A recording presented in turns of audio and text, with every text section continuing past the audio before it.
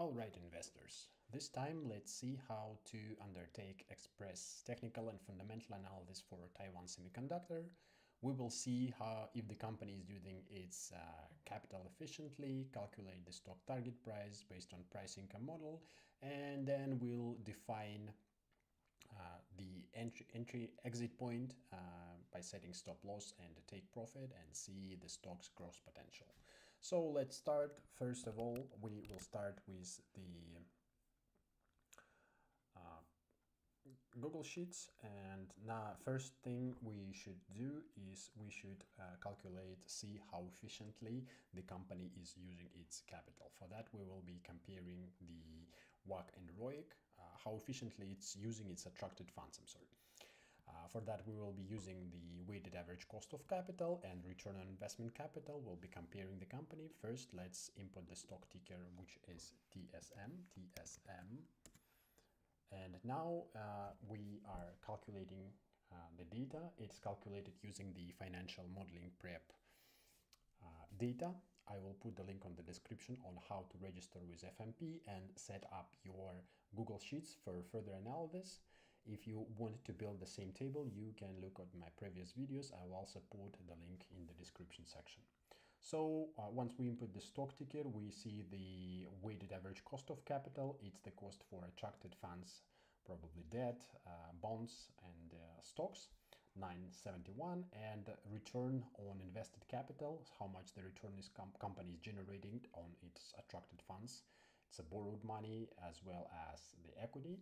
It's 18% and ROIC to WACC ratio is 186 that's good. That means the company is generating return on its attracted funds uh, because ROIC is higher than the WACC ratio. The next thing we can look at is the target prices. As you can see there is a range high uh, low target price. We should look at the consensus target price which is 183 and you should also look at the analyst target prices. Pay attention to the recent target price updates from from the analyst these are more relevant updates and you can also see what are their target prices and as well as analyst name and the investment company so the next step would be, as we've seen that it's using this capital efficiently, you can compare it to its closest peers also and choose the stock with the highest ROIC to WACC ratio in comparison to its closest peers. You can do it yourself. The next step would be to calculate the stock's target price using the uh, price income model, very simple model. I will put the link uh, to the article where you can calculate it yourself. So simply input the stock ticker over here in the symbol. It is TSM, TSM, TSM. And now everything is calculating. If you're interested in building this table, I will put the link to the video in the description as well. So we have the stock market price of 205. Remember from the previous section, we've seen that the consensus price is 183. Uh, which is below the market price, which means that the stock is currently overvalued based on the investment analyst stock target price calculations, but also based on the recent target prices, the stock is almost fairly valued. Uh, it doesn't have a growth potential, significant growth potential. It means that the stock target price is almost equal to stock uh, market price, which indicates that the stock is currently fairly valued. So now let's calculate the stock target price ourselves using this very simplified model. So already we inputted the stock ticker here and we have financial ratios for uh, the TSM company. The next step would be to find the closest peers among um, TS, uh, TSM's closest peers. For that, we will be using financial modeling prep uh, data point. As you can see, here is an Apple. I will put the link on the description to this um, API endpoint as well. All you have to do is register with FMP, obtain your custom API key, and then you should go to the um, address bar in your browser and uh, simply replace the stock ticker from Apple to TSM. And now you see TSM's closest peers, it's Intel, Nvidia. Let's copy the name over here to the Excel spreadsheet. Uh, we have Nvidia. The next peer is INTC, Intel.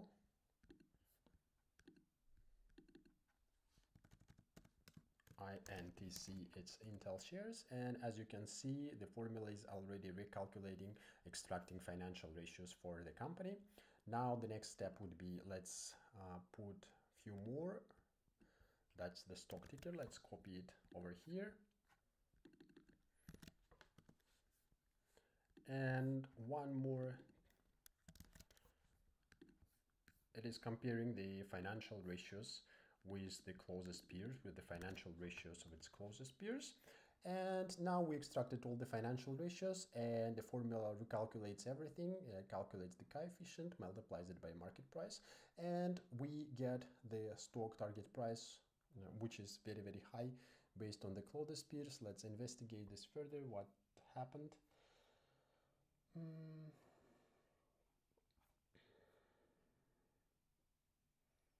Yeah, probably there, there is a big variance because we've taken the smaller competitors from the list. We can replace them with uh, larger competitors. Let's take AMD shares. Yes. And let's take this one.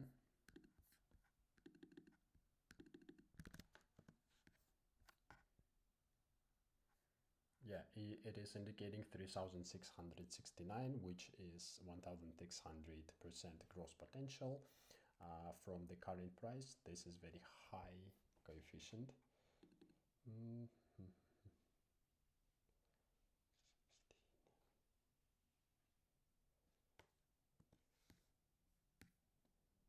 That's because of this ratio probably. Let's investigate and see what happened here.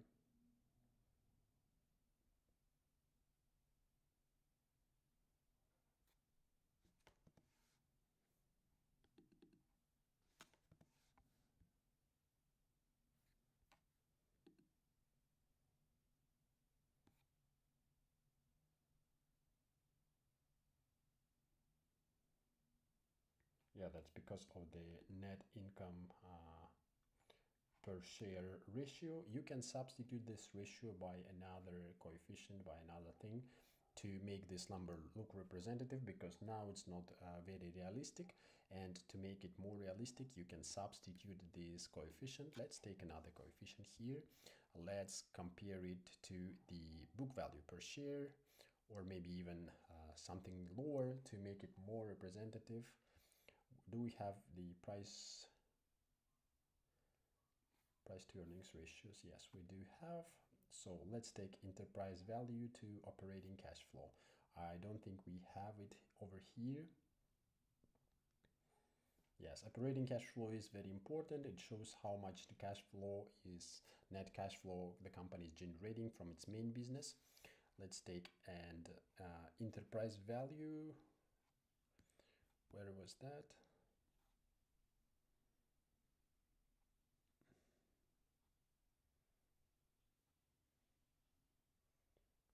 yes enterprise value to operating cash flow. Let's take this one. And now we copy it from over here.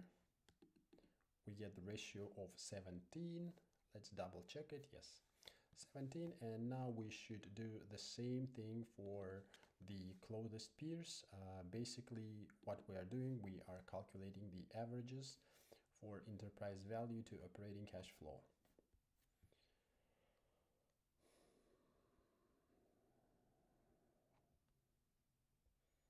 let's find it here.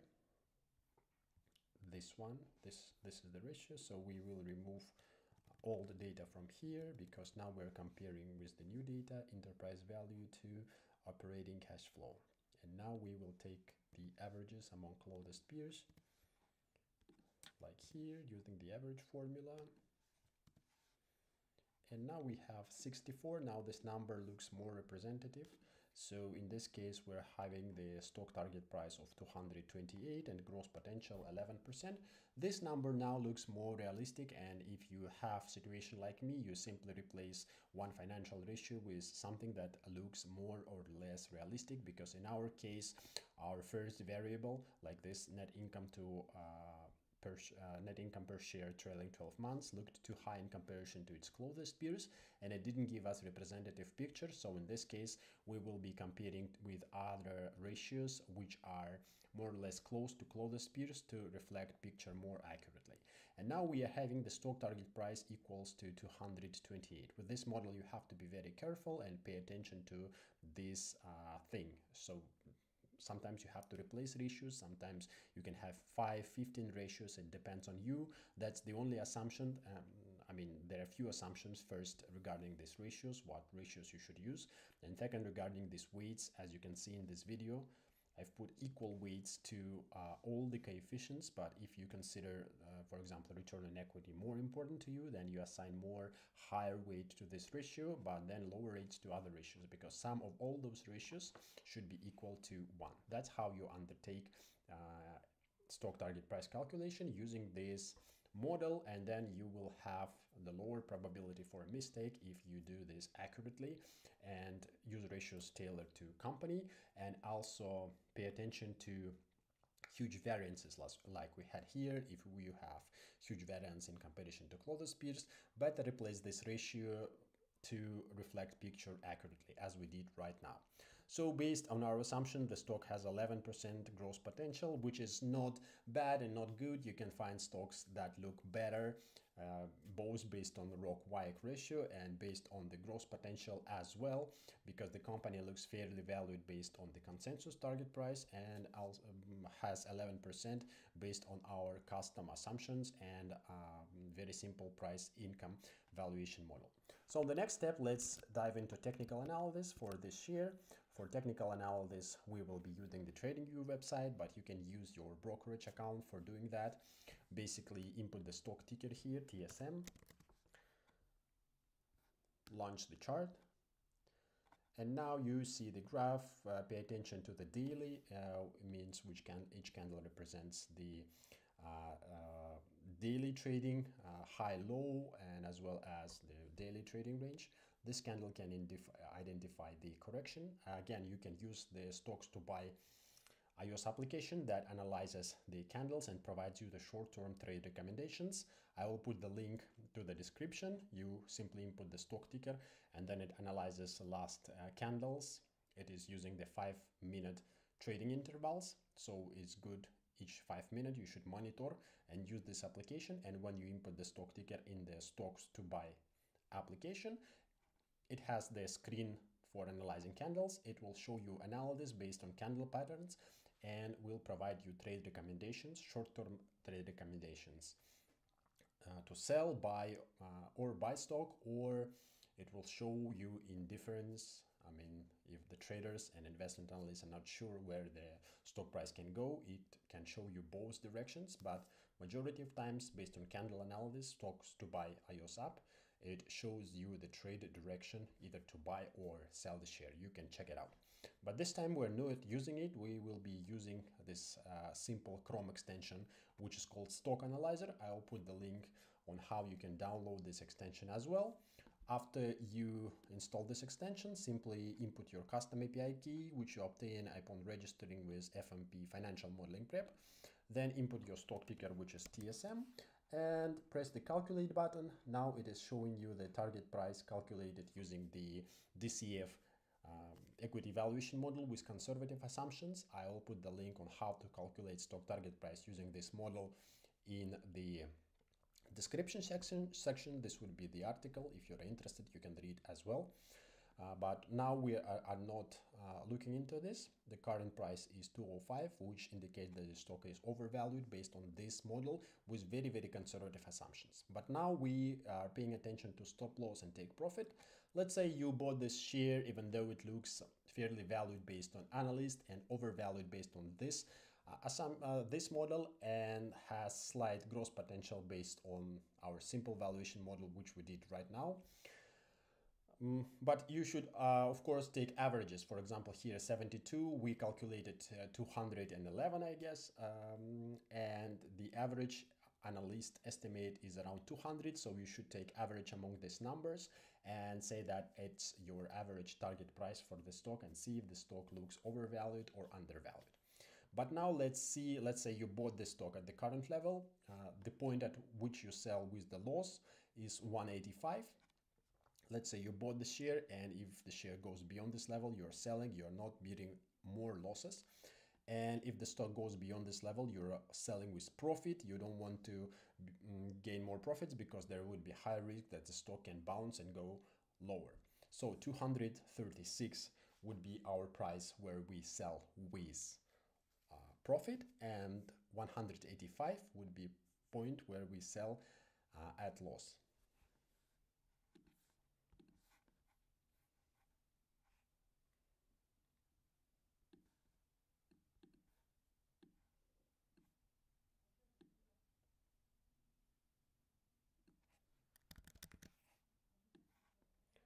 So these are two points as see uh, the stop loss is very close because of this candle. So if the stock goes here and goes beyond this line, we are selling with loss. And if it goes over here and breaks this line, we will sell with uh, profit.